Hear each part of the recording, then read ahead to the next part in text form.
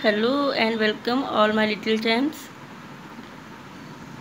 Today I am in front of you with the next English topic that is fill in the blanks. Clear? आज हम आपके सामने एक और English topic लेकर आए हैं जो कि है फिल इन द ब्लैंक्स बेटा आप लोग फर्स्टली हेडिंग राइट करेंगे क्लास वर्क डेट मेंशन करेंगे एंड हेडिंग राइट करेंगे fill in the blanks how to write look at here properly देख रहे हैं ना कैसे राइट है? ऐसे ही राइट करना है. And after writing you must have read it okay आपको इसको रीड करना है. Clear now read with me F I double L fill F I double L fill I N in T H E the B L A N K S blanks fill in the blanks fill का means होता है भरो. Fill का means क्या होता है? भरो. In the means में ब्लैंक्स मीन्स खाली जगह. खाली जगह में भरना है. क्या भरना है? फिर इन द ब्लैंक्स मीन्स आपको आज ये वर्क करना है कि आपने अभी तक ए टू पी लर्न कर लिया है। Capital letters and small letters दोनों में फिल इन द ब्लैंक्स हम लोग कैपिटल लेटर्स में करेंगे। स्मॉल लेटर्स राइट करने की ज़रूरत यहाँ पर नहीं है। जिस राइटिंग में मैम वक्त देती हैं, आपको आंसर भी उसी राइटिंग में राइट करना होता है। दैट्स वाई आप लोग किसमें करेंगे? कैपिटल लेटर में करेंगे, क्योंकि मैम ने यहाँ पर filling sorry writing capital letter में की है, इसलिए फिलिंग भी कैपिटल लेटर में होनी चाहिए। क्लियर अब आपको क्या करना है? ब्लैंक्स में फिल करना है। फिल क्या करते हैं? जो भी मिसिंग होता है। जो लेटर यहाँ से मिसिंग है, उसको हम फिल करेंगे। क्लियर है ना इतना? जो लेटर यहाँ से मिसिंग मीन्स गायब होना।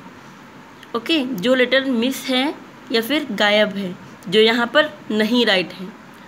ओके? जो नहीं राइट है, मिस है या फिर गायब है, उसको आपको राइट करना है। Okay? So identify this letter what is written here very good this is A okay? A is written here what comes after A A के बाद क्या आता है बेटा? ए के बाद आता है बी कौन सा बी हम राइट करेंगे? हमने पहले ही बताया है। अगर यहाँ पर कैपिटल ए है तो बी भी यहाँ पर कैपिटल ही होगा। इसलिए यहाँ पर हम कैपिटल बी राइट करेंगे। What comes after A B okay ये आपका हो गया बी बी के बाद आता है सी क्लियर है इतना?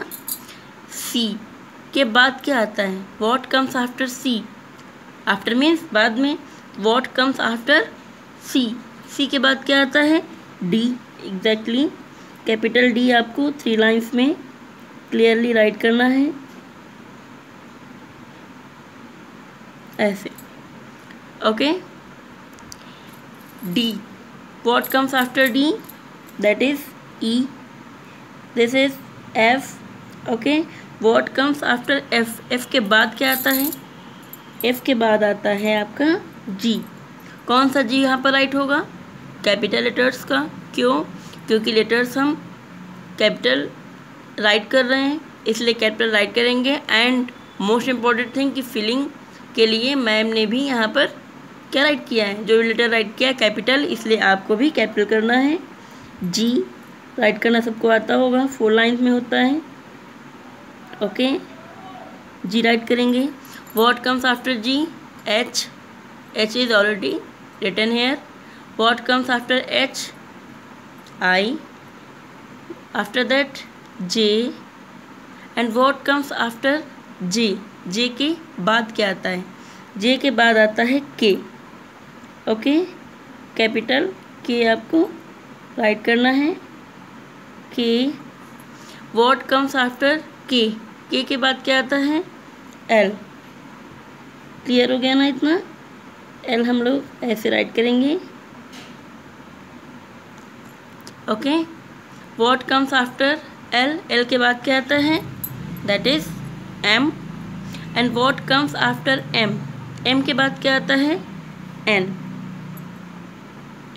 कर्सिव में आप लोग करेंगे सिंपल राइटिंग में राइट आपको नहीं करना है। सारे लेटर्स यहाँ पर कर्सिव राइटिंग में हैं, इसलिए सिंपल राइटिंग में कोई भी राइट नहीं करेगा। ओके?